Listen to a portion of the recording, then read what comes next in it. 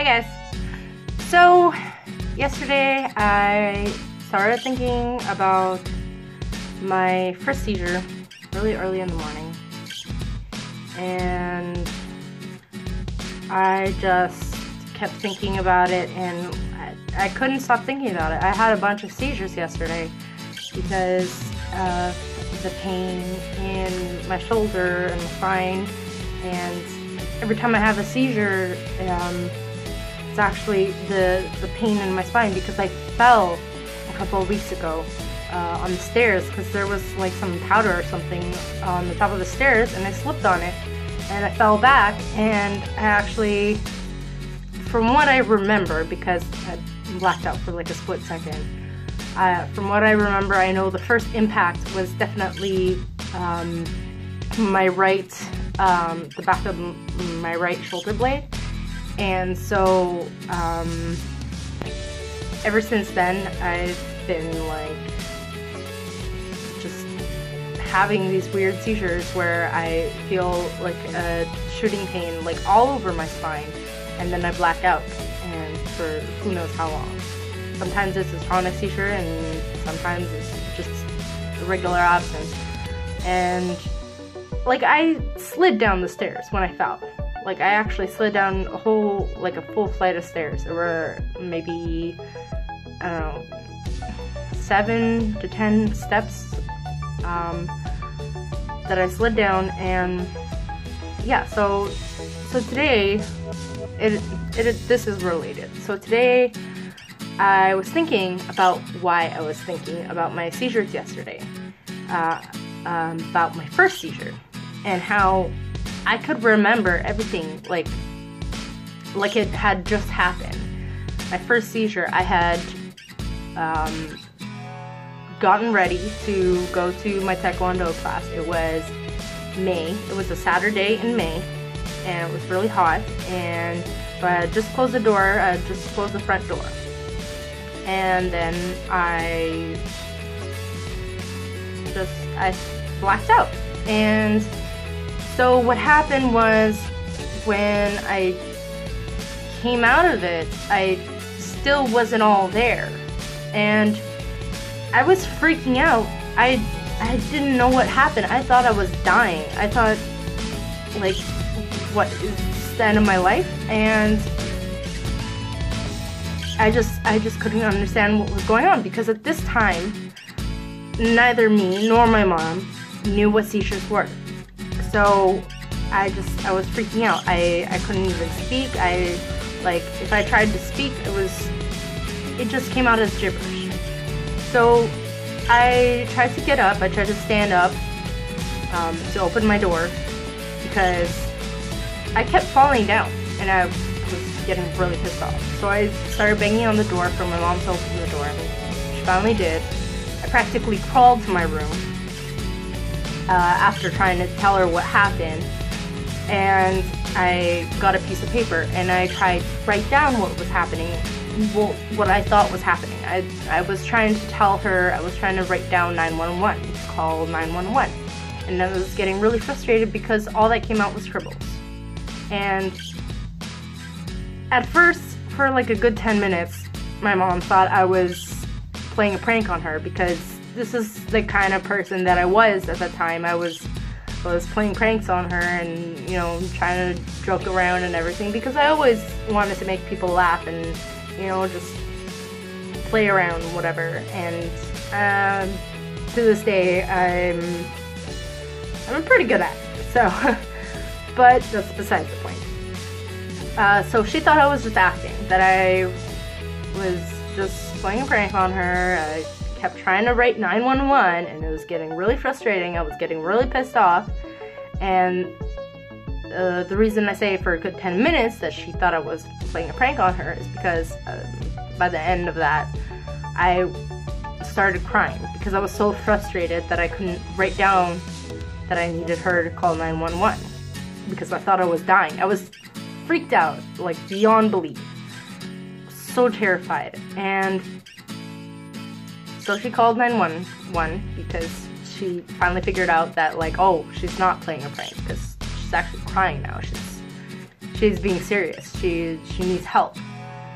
Um, so yeah, that's all I remember after that is pretty much going to the hospital and then them trying to figure out what happened from what I told them and then eventually they're like, oh, we had a seizure and then like I don't know, a couple months later, they're like, oh, so now you're epileptic because I kept having seizures after that. And so, yeah, they're like, oh, now you're epileptic because you're having seizures. So, yeah. And so, so why I was thinking about it today, I was thinking about why I was thinking. And um, sorry if I confused you just now. Um, but I was just realizing the fact that I fell down and the fact that I was thinking about my procedure like pretty much all day yesterday. That the reason I was thinking about it is because it was basically my mind kind of reminding me that you know what you have to stop worrying about you know people trying to prevent you from success. You have to stop worrying about uh, people saying like oh that that's not cool. Like what you're doing is whatever. Like you know because there's always going to be somebody who's going to be a naysayer. And there's always going to be somebody who's going to relate to you, who's going to want to understand what you're going through. And like, I, for me now, nobody has ever understood. Not even other epileptics has has understood what I've gone through in my life because sure they maybe understood like the first seizure, what happened, the terrifying feeling, but everything else in my life. Not everybody understands that. And not everybody would understand every single thing in my life at once. There would be some people that understand some things and then some people that understand other things, but there's nobody that understands everything. And it's just it's kind of an eye opener for me to stop worrying about what other people think.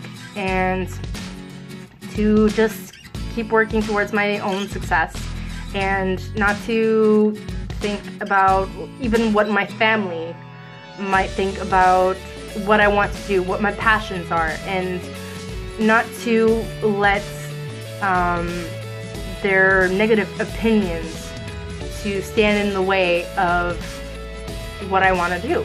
Because I write. I write songs, I write books. Um, I'm working on two books at once, which is kind of weird. But I'm almost done one of them. And there's a bunch of songs, and I love filming. I love making videos and just talking to people and just getting to know people and understanding what people go through to I don't know, I guess I guess it's just me wanting to understand other people's lives and other people's experiences.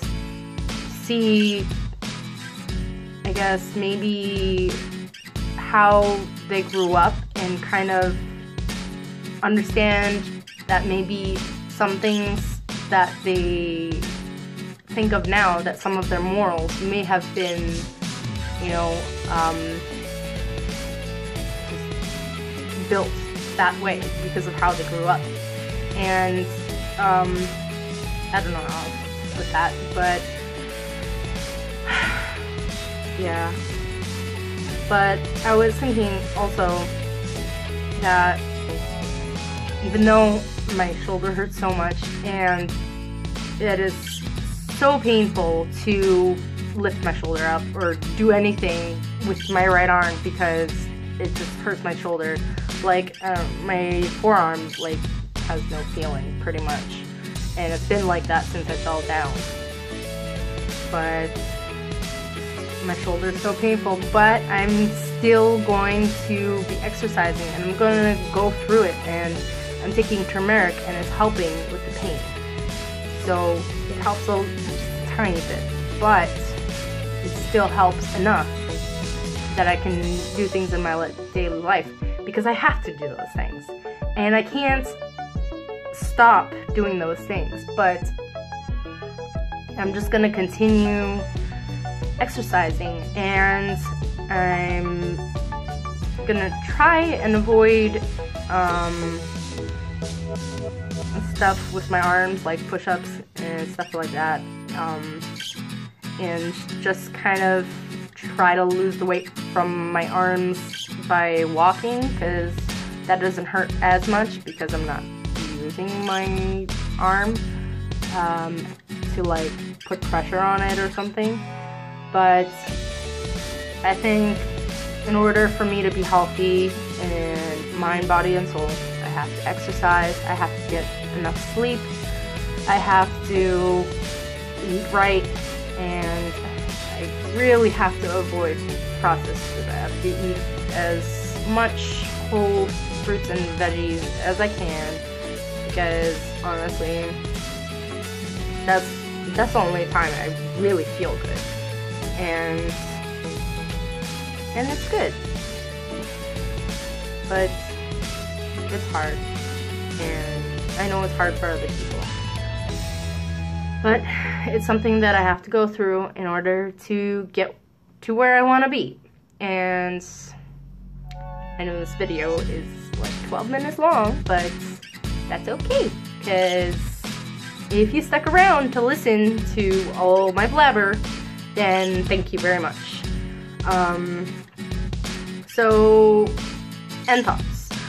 I'm going to continue exercising. I'm going to try to avoid my arms, um, but I'm still going to try to do my arms in a way. Like, I'm going to try to avoid as much pressure as possible on my arms.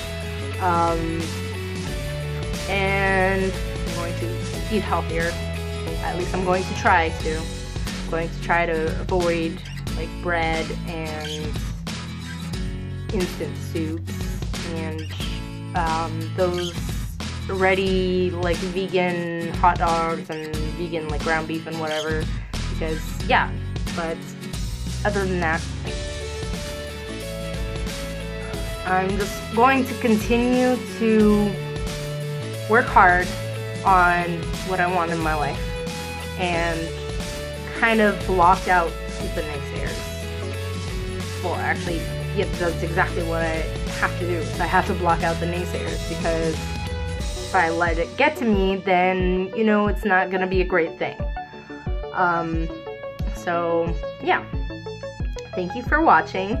Be sure to check out my other channels, my vegan channel and Wait, this is my vegan channel. Boom. My comedy channel and my vlog channel. And Love you guys and goodbye.